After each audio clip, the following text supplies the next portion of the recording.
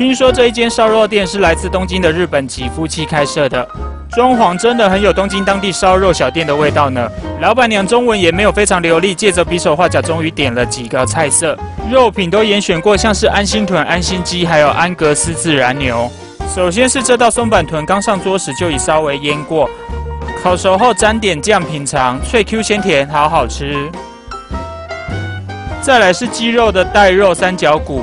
虽然技术差，烤到略焦了，但咬掉焦的部分不吃，还是脆口不失鲜味。